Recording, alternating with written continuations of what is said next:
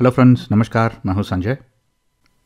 आपका स्वागत है इस वीडियो सीरीज़ के ट्वेंटी सेकेंड वीडियो में, और इस वीडियो का टाइटल है मोटिवेशन एंड लर्निंग जो कि C T E T C D P syllabus में ट्वेंटी सेकेंड टॉपिक है। और एज यूजल ये वीडियो आपको दोनों इंग्लिश और हिंदी वर्जन्स में मिल जाएगा हमारे चैनल पर इस सीरीज़ के सारे वीडियोस में मैंने सिर्फ़ उन टॉपिक्स को कवर किया हुआ है जो कि इंपॉर्टेंट है आपके एग्ज़ाम पॉइंट ऑफ़ व्यू से। तो इस वीडियो में पहले हम देखेंगे मोटिवेशन क्या होता है, फिर हम aspects definitions and types of motivation के बारे में बात करेंगे। फिर देखेंगे कि मोटिवेशन साइकिल क्या होता है। फिर कुछ इंपॉर्टेंट मोटिवेशन थियरीज के बारे में बात करेंगे, जैसे कि Maslow's theory of hierarchy of human needs David McClelland's theory of needs and theory of mastery goals and performance goals फिर हम बात करेंगे कि किस तरह से हम बच्चों को मोटिवेट कर सकते हैं इन द क्लासरूम और इस वीडियो के एंड में हम कुछ सैंपल क्वेश्चन सॉल्व करेंगे पुराने क्वेश्चन पेपर से। तो चलिए शुरू करते हैं। तो सबसे पहले ये मोटिवेशन क्या है? वेल well, मोटिवेशन वो रीज़न है जिसकी वजह से हम सुबह बिस्तर से उठते हैं। मोटिवेशन वो कोई भी फैक्टर हो सकता है जिसकी वजह से हम पूरा दिन कुछ ना कुछ करते रहते हैं। जैसे कि कल सुबह जब आप उठोगे तो अभी भी आप बिस्तर में हो लेकिन आपको भूख लगने लगता है। तो आपका हंगर भूख the need to get food वो आपका मोटिवेशन हो सकता है जिसकी वजह से आप बिस्तर से उठ रहे हो। अगर आप काम कर रहे हो तो आपको कल सुबह उठ के तैयार होना है, काम पे जाना है, ऑफ़िस जाना है तो अब आपको ऑफ़िस क्यों जाना है? क्योंकि आपको पैसे कमाने हैं।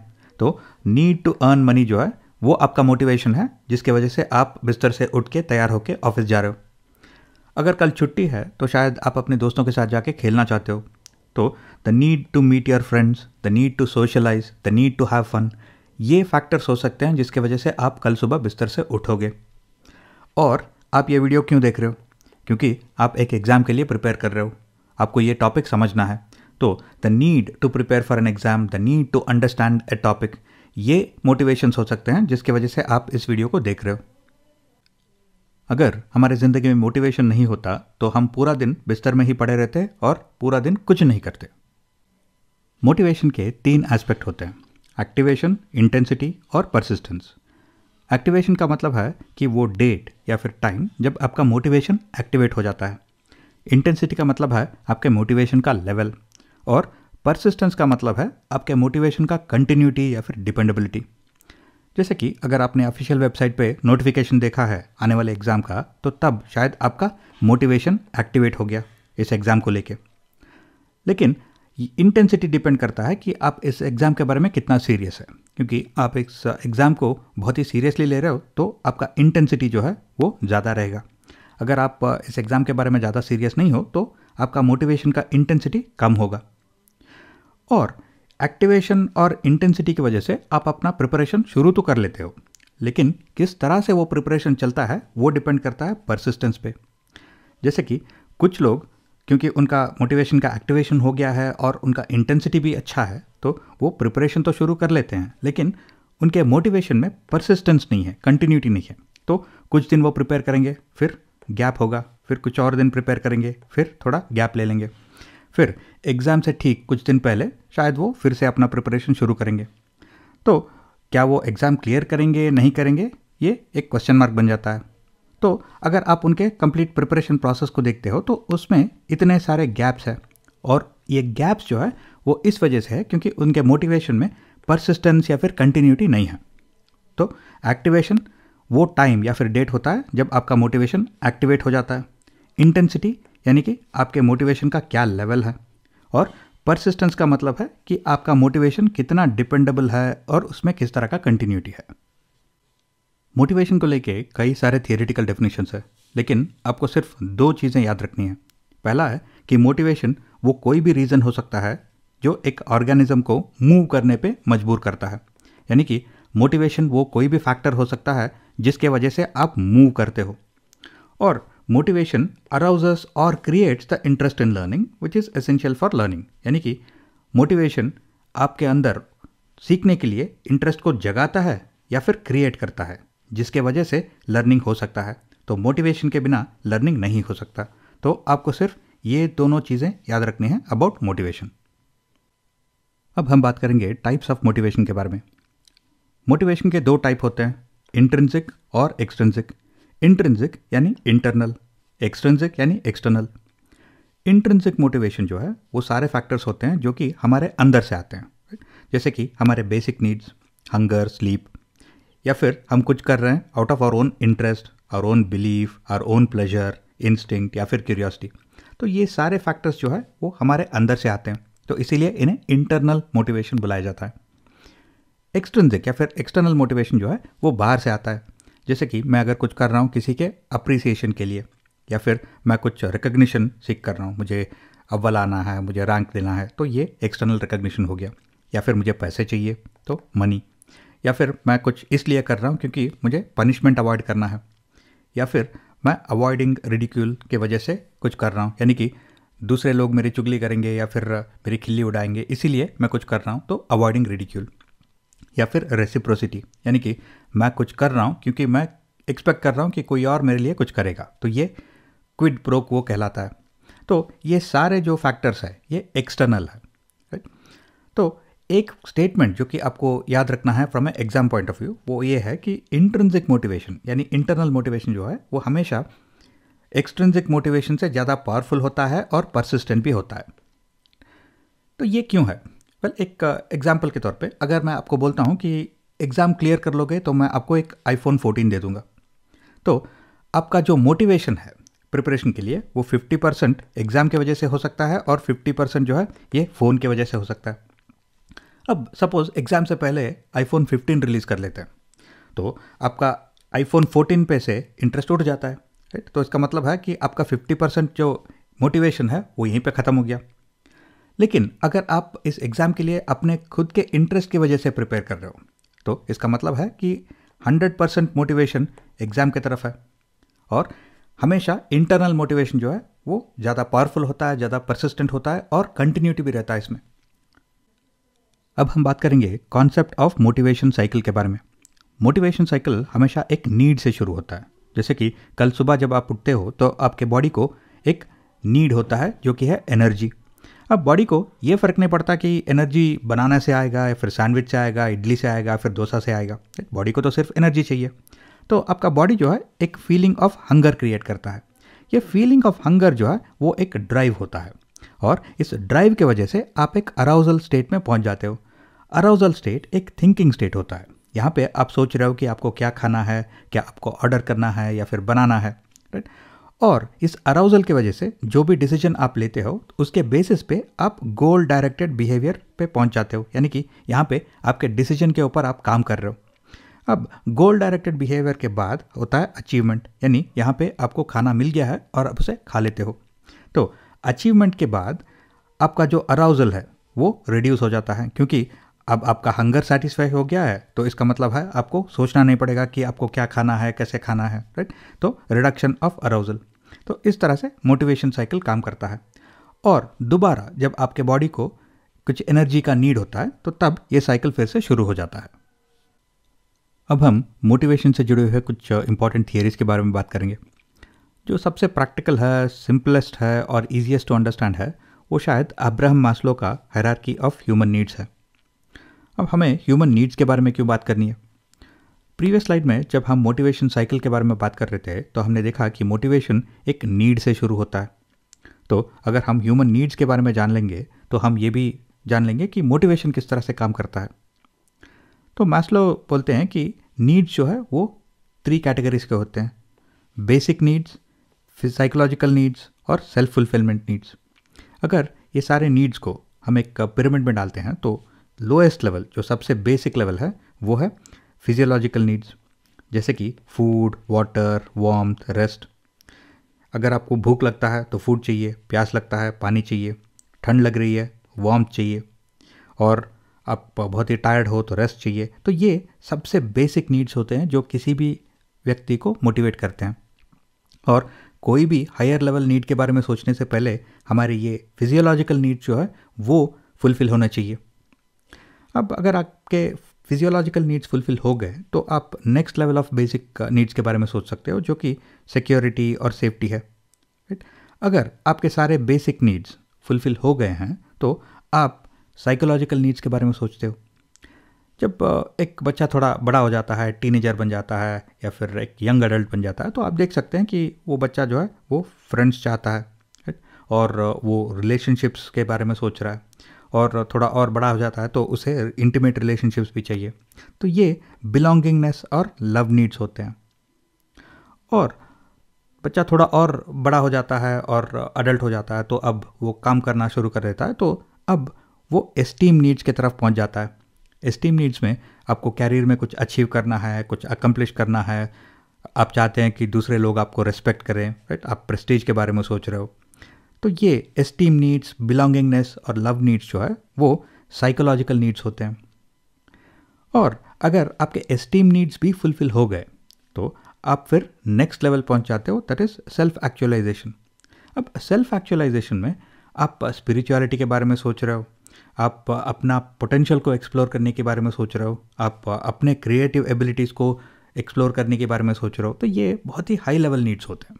और ज़्यादातर जो लोग एस्टीम नीड्स पार कर चुके हैं, यानी कि जो ज़िंदगी में कुछ अकम्पलिश कर चुके हैं, वो सेल्फ एक्चुअलाइजेशन के बारे में ज़्यादा सोचते हैं। तो इस तरह से सबसे पहले हमें फिजियोलॉजिकल नीड्स सेफ्टी नीड्स जो कि बेसिक नीड्स है, वो फुलफ़िल करने होते हैं। उसके बाद हम साइकोलॉजिकल नीड्स के बारे में सोचते हैं और हाईएस्ट लेवल में हम सेल्फ फुलफिलमेंट नीड्स के बारे में हम सोचते हैं। तो ये है Maslow's hierarchy of human needs अब हम बात करेंगे डेविड मैकलेलन के थियोरी ऑफ़ नीड्स के बारे में।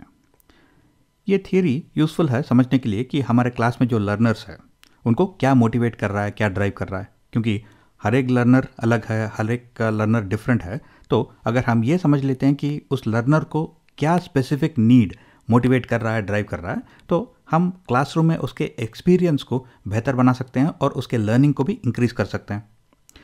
इस थियोरी में तीन तरह के नीड के बारे में बात किया गया है। Need for achievement need for affiliation need for power need for achievement जो है, वो सक्सेस के साथ कनेक्टेड है। Need for affiliation interpersonal relationships या फिर सोशल रिलेशनशिप्स के साथ कनेक्टेड है। और नीड फॉर पावर जो है, वो कंट्रोलिंग अदर्स और इन्फ्लुएंसिंग अदर्स के साथ कनेक्टेड है। अब ये नीड्स जो है, वो पॉजिटिव मोटिवेटर्स हो सकते हैं या फिर नेगेटिव मोटिवेटर्स हो सकते हैं। यानी कि ये नीड अगर ऑन ए हायर लेवल है तो वो एक पॉजिटिव मोटिवेटर होता है। अगर ये need at a lower level है तो ये नेगेटिव मोटिवेटर होता है। जैसे कि अगर आपके क्लास में एक लर्नर का नीड फॉर अचीवमेंट वो ऑन अ हायर लेवल है तो वो हमेशा सक्सेस के पीछे भागता है। यानी कि उसे हर एक हाल में सक्सीड करना है। तो विन एट एनी कॉस्ट उसका मोटो रहता है।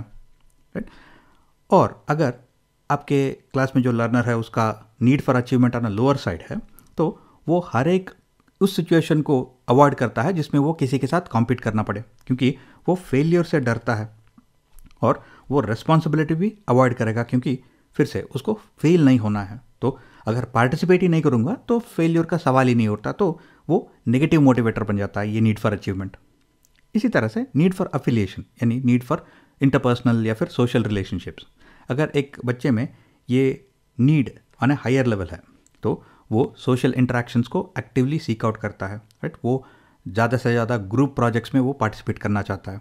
और जो भी उसके लोग हैं, जो भी उसके साथ काम कर रहे हैं लोग तो उनसे वो लॉयल्टी एक्सपेक्ट करता है। वो हर एक के साथ हारमोनियस या फिर एक कॉर्डियल रिलेशनशिप एक बेहतर सोशल रिलेशनशिप मेंटेन करना चाहता है। अगर एक बच्चे का need for affiliation on a lower side है तो वो इंडिविजुअल प्रोजेक्ट्स में काम करना पसंद करता है। क्योंकि वो हर तरह के सोशल इंटरेक्शंस को अवॉइड करना चाहता है। अगर एक लर्नर का नीड फॉर पावर जो है, वो ऑन द हायर साइड है तो वो एक्टिवली लीडर बनना चाहता है वो लोगों को सिचुएशंस को कंट्रोल करना चाहता है। लेकिन अगर एक लर्नर का need for power on a lower side है तो वो एज ए डिपेंडेंट और एज ए फॉलोअर और एज ए सबॉर्डिनेट वो ज़्यादा कंफर्टेबल रहेगा।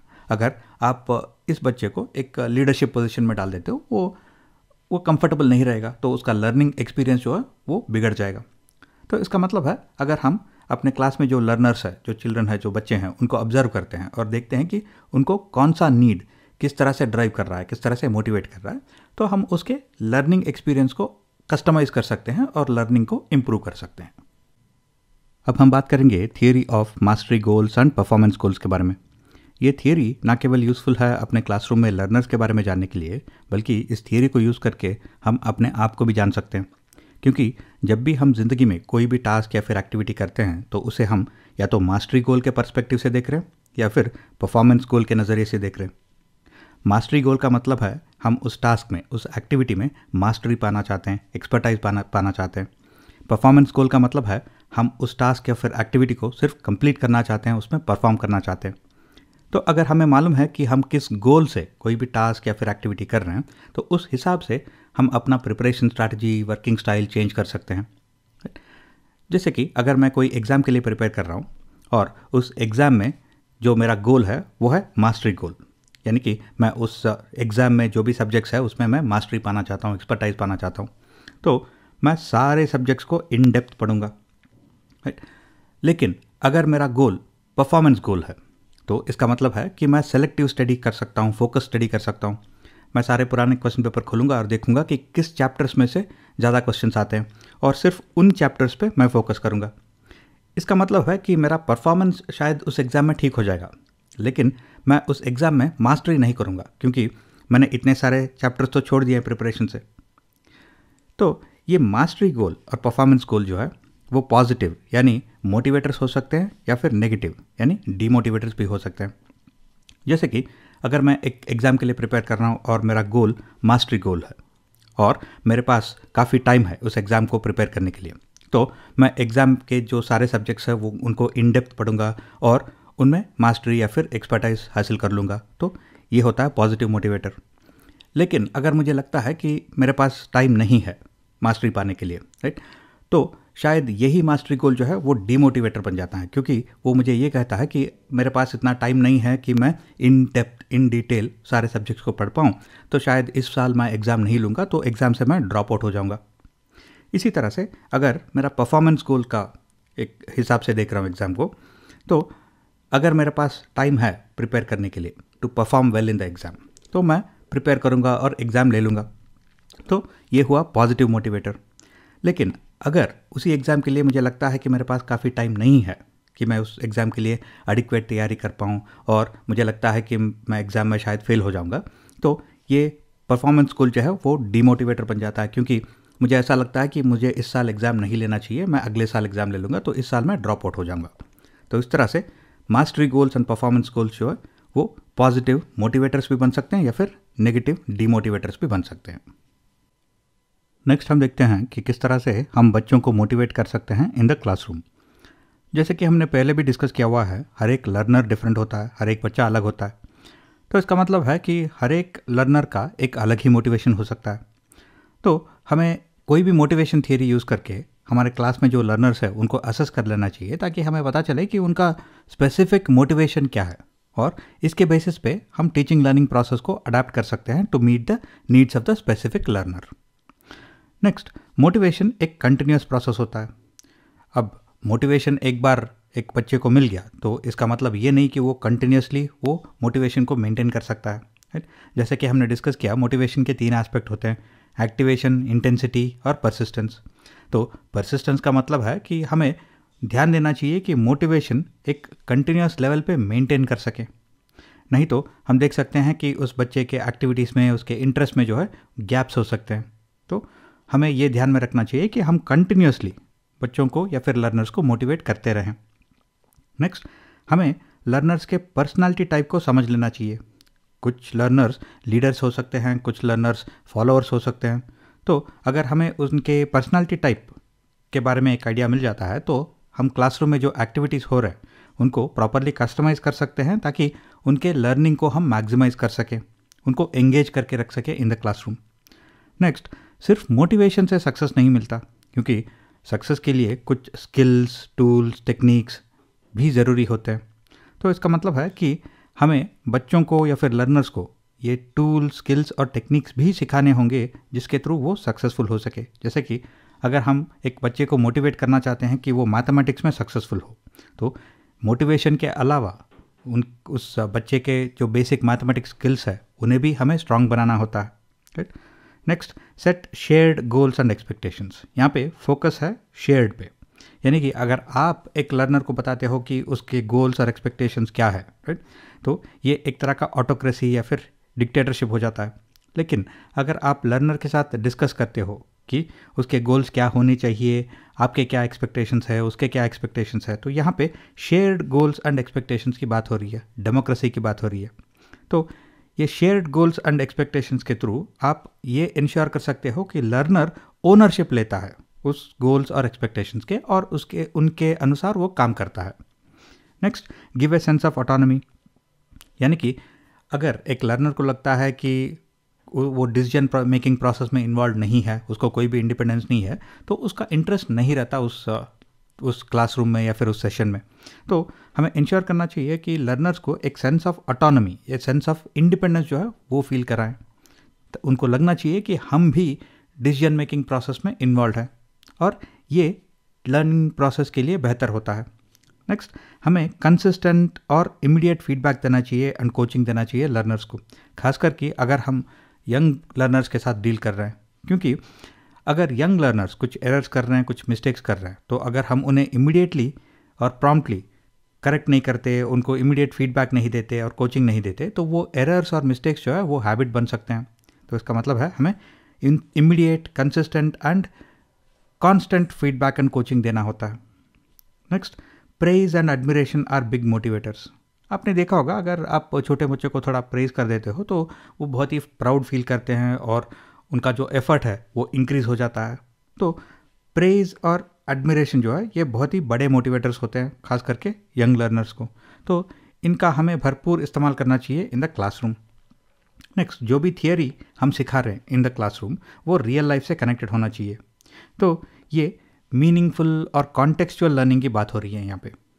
Next allow learners the freedom to make mistakes जैसे कि हमने प्रीवियस एक और वीडियो में डिस्कस किया हुआ था एरर्स जो है, वो लर्निंग का एक हिस्सा होता है। एरर्स और मिस्टेक्स के थ्रू भी हम बहुत कुछ सीख सकते हैं। तो लर्नर्स को एक इंडिपेंडेंस रहना चाहिए कि वो मिस्टेक्स कर सकें, एरर्स कर सकें, और वो मिस्टेक्स एंड एरर्स के लिए उन्हें पनिश नहीं किया जाना चाहिए, क्योंकि वो एरर्स और मिस्टेक्स के थ्रू भी बहुत कुछ सीख सकते हैं।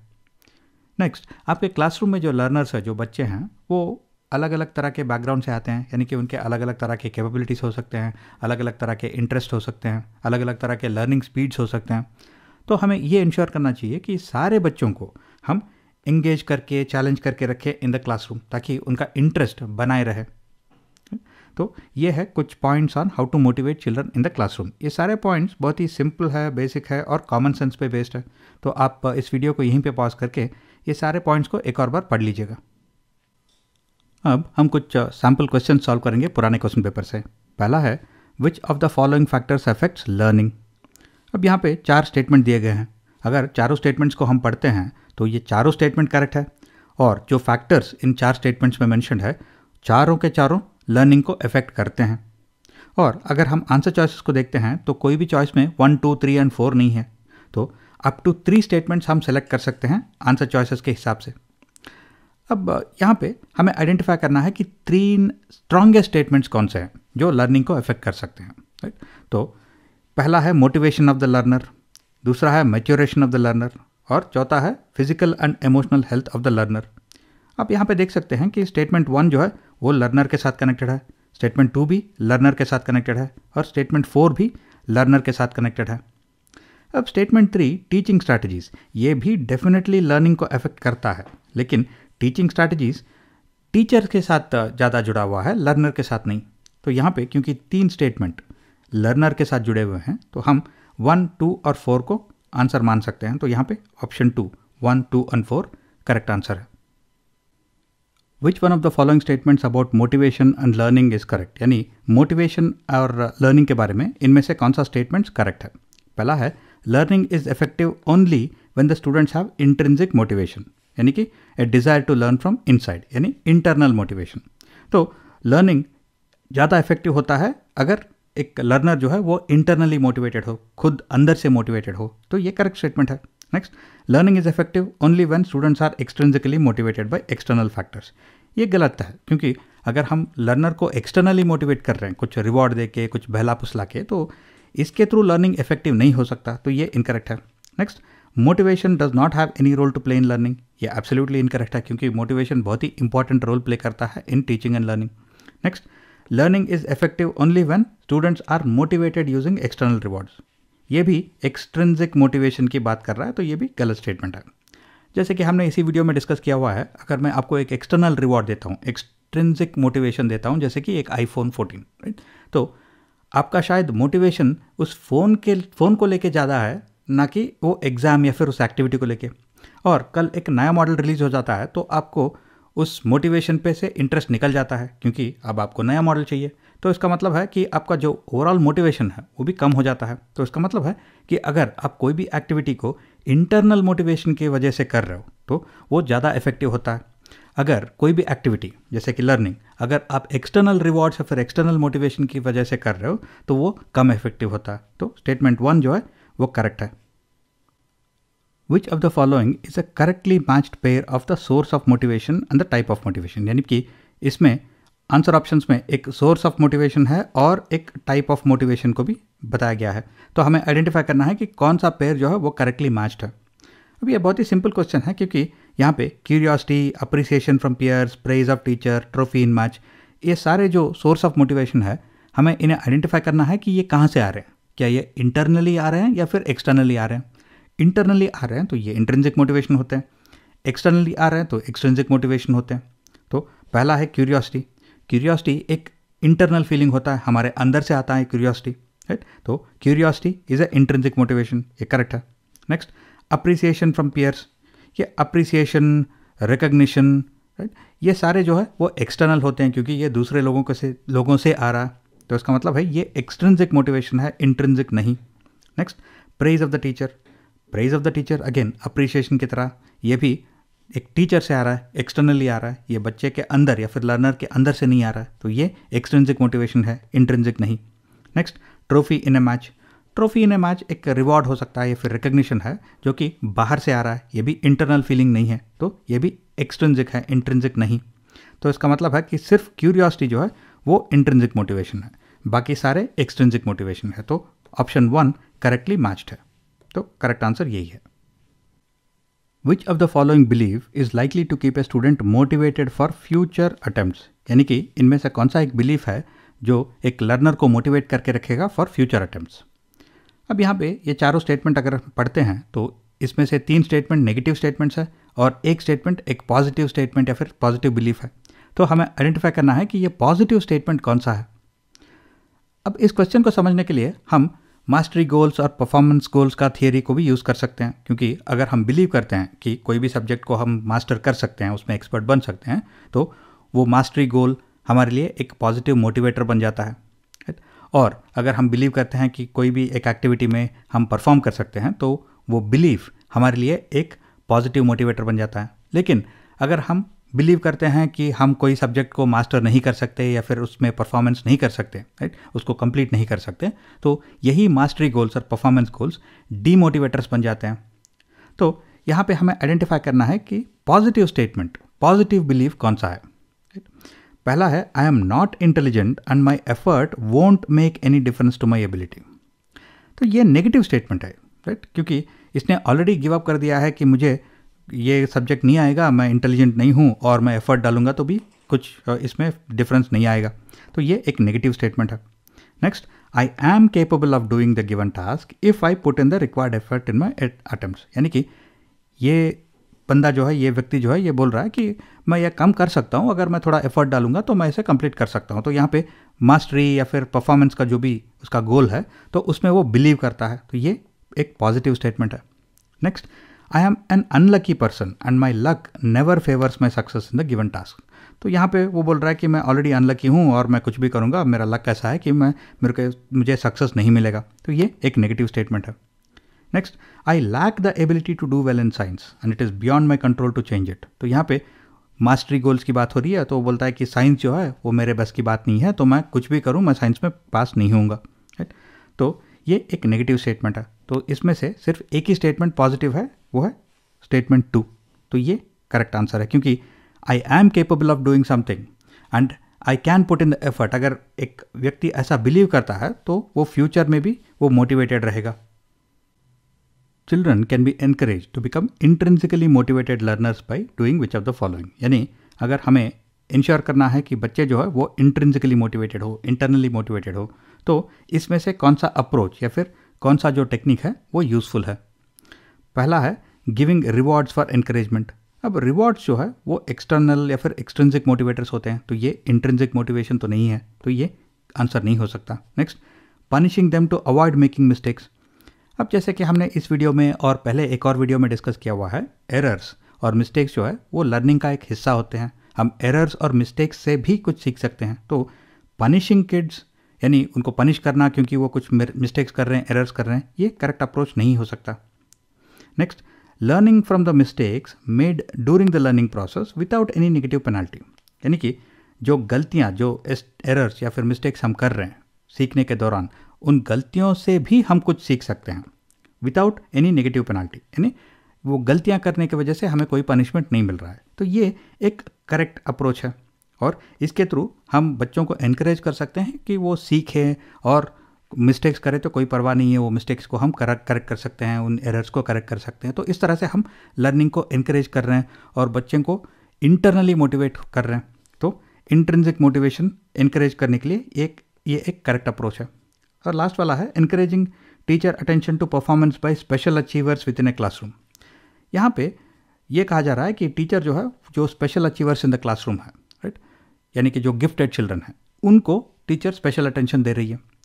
यानी कि बाकी बच्चे जो है, वो डिमोटिवेट हो जाएँगे क्योंकि उनको टीचर का अटेंशन नहीं मिल रहा है। तो ये एक तरह का पार्शियलिटी हो गया। तो ये करेक्ट अप्रोच नहीं हो सकता। एक टीचर का एक करेक्ट बिहेवियर नहीं है। तो यहाँ पे सिर्फ़ statement three that is learning from mistakes made during the learning process without any negative penalty ये एक अच्छा तरीका है, एक अच्छा टेक्निक है लर्नर्स को इंट्रेंसिकली मोटिवेटेड लर्नर्स बनाने के लिए। तो ये करेक्ट आंसर है। और इसी के साथ हम इस वीडियो को कंक्लूड करेंगे। आपके कुछ क्वेश्चन या फिर फीडबैक है तो नीचे कमेंट सेक्शन में डाल दीजिए। और मैं आपसे फिर से मिलता हूँ बहुत ही जल्द इस सीरीज़ के अगले वीडियो में। Till then take care stay safe